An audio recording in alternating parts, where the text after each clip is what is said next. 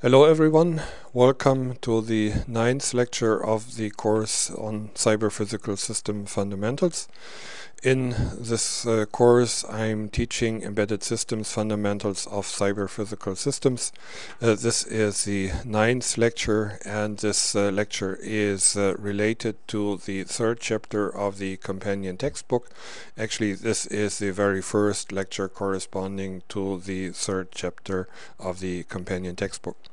Uh, this is uh, the first lecture on embedded system hardware.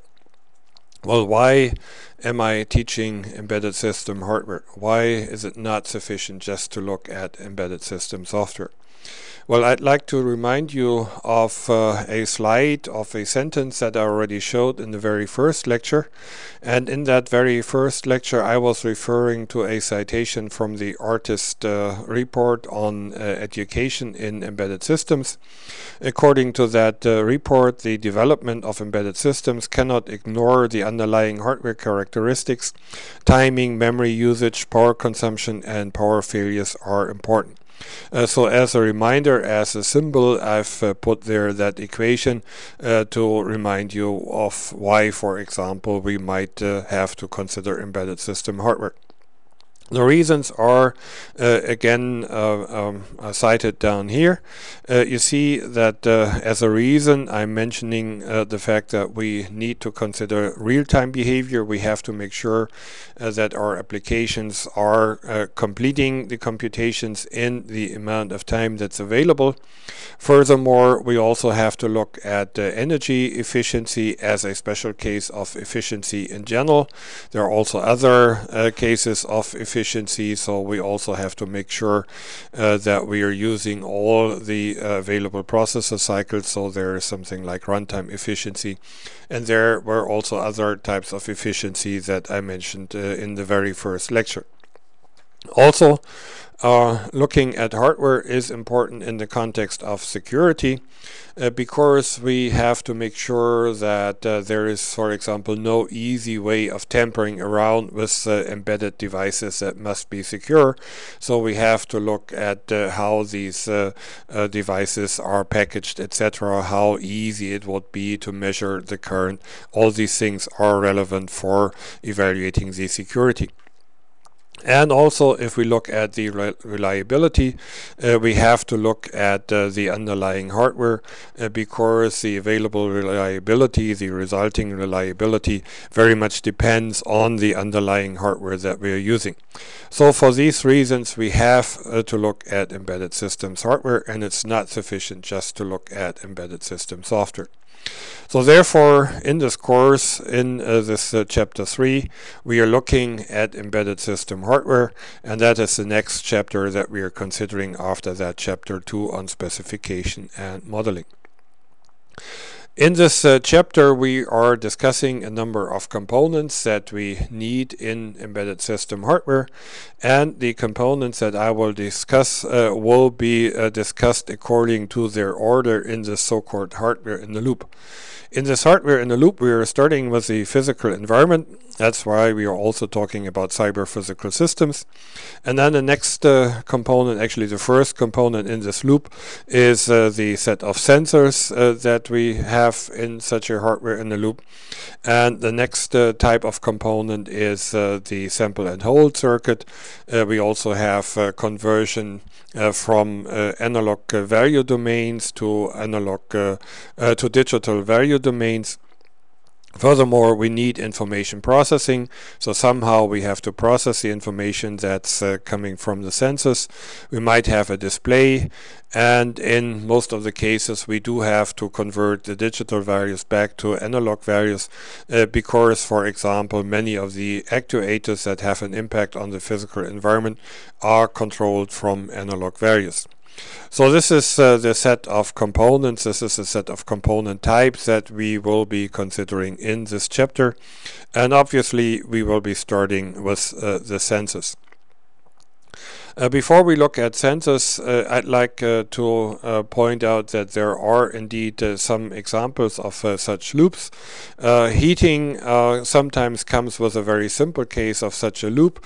so if, if you have this device that I think you're well aware of, you have such a sensor, you have very simple information processing, and there is some actuator which is controlling the amount of water that is used used for heating. Then if we have uh, illumination of rooms, uh, we also might have such a, a control loop. Uh, we might have a sensor which is measuring the amount of illumination and then controlling uh, the amount of uh, lights that, that, that is uh, making sure that we really see what we want to see in, in a room, for example. We also have examples of such loops in engine control in uh, the automotive domain. Uh, there we have uh, sensors that are measuring certain values there in the engines. Uh, then there is some information processing. In many cases it is rather complex uh, information processing because we would like to make sure that the engine is running as smoothly as possible and uh, the resulting values will then have an impact on on, for example, the amount of gas, gas which is injected into the engine.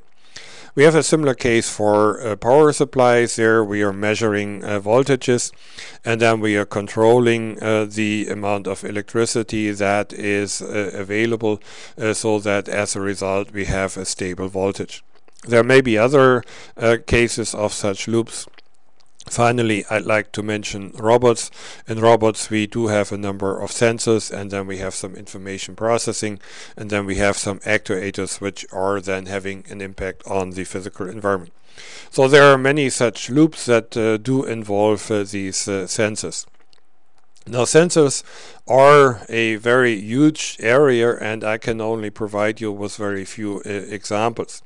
Sensors allow us uh, to start uh, this uh, hardware in a loop uh, with the first component which is needed there, this very first component which is capturing uh, physical information and in most of the cases generating some electrical information there from the physical information.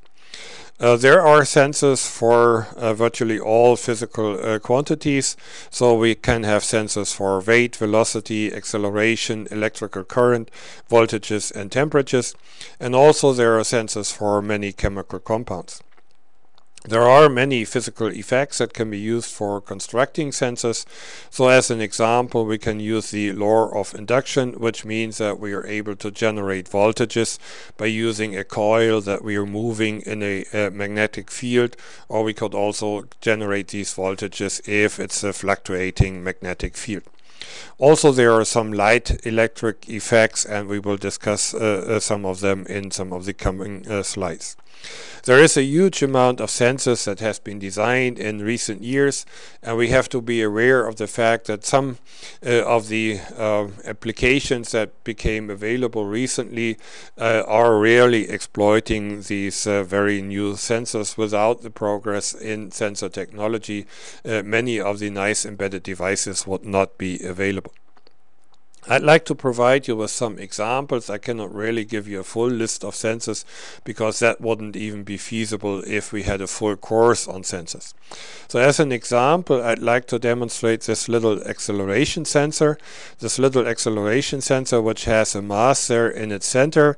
Uh, from the scale here on the right hand side you can estimate this uh, size to be about one uh, millimeter in one uh, dimension. So you have in total about one square millimeter and uh, uh, this little mass there is uh, connected through some tiny wires.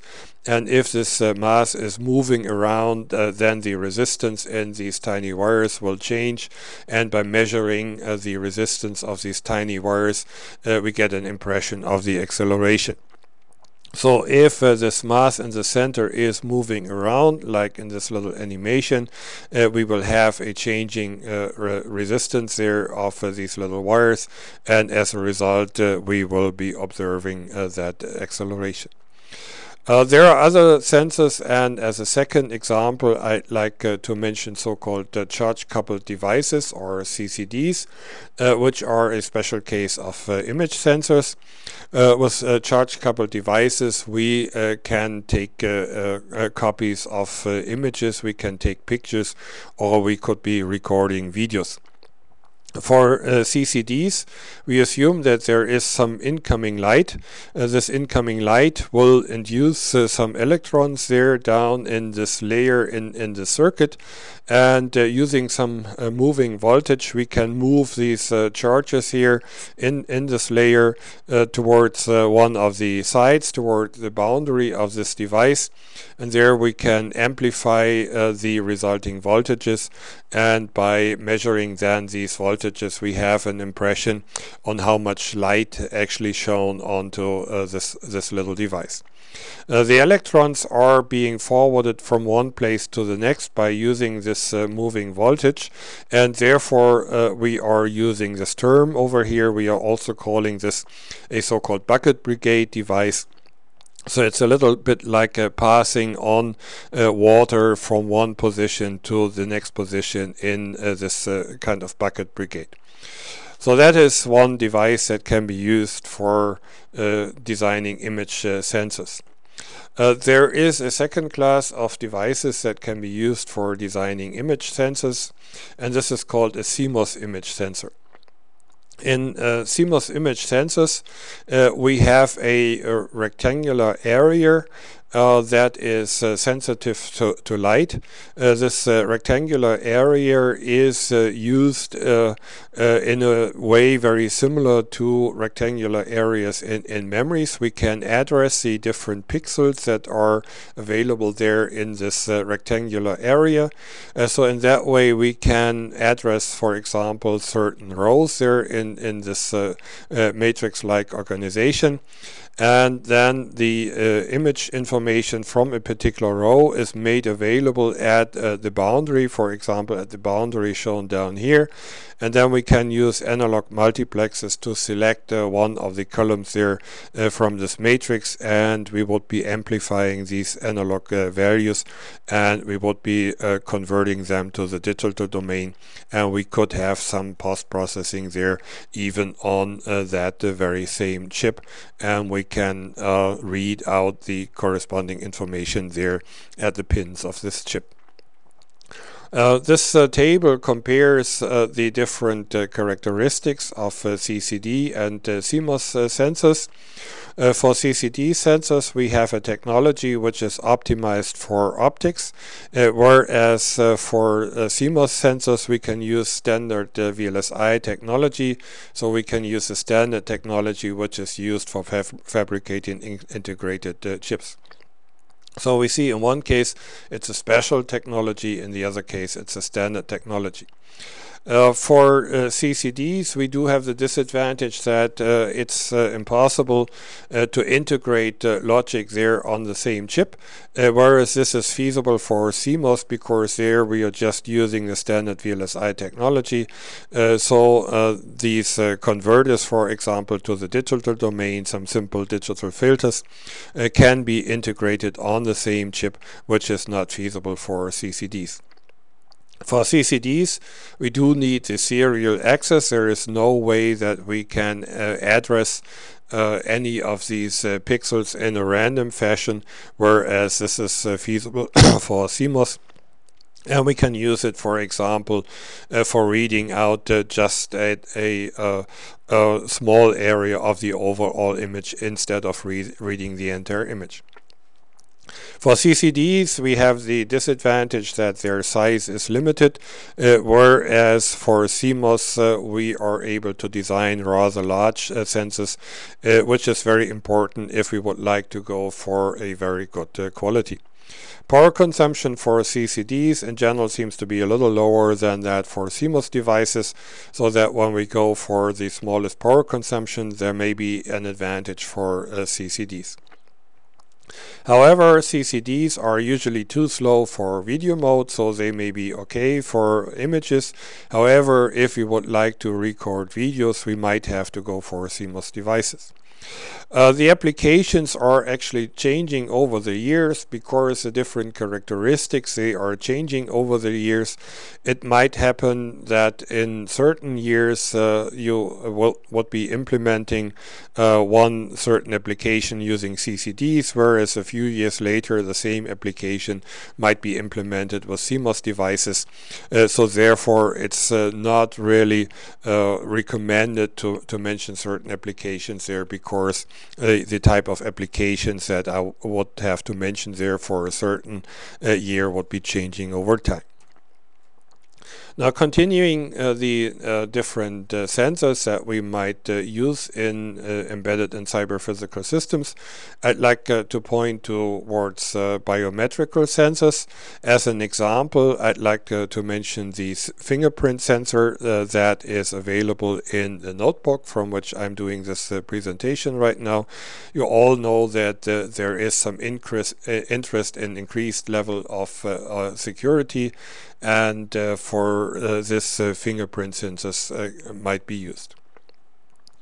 As another example, I'd like uh, to mention an example uh, that is intended to be some help for handy handicapped people, in particular for blind people. Uh, there has been quite some effort on trying to provide limited eyesight uh, to uh, blind people, and one of the early approaches was uh, designed as uh, shown on the slide. You see there that the blind person is supposed to wear uh, glasses on which a camera is mounted. This camera is then connected to a computer which is worn at the belt and then the computer is uh, connected uh, to the brain.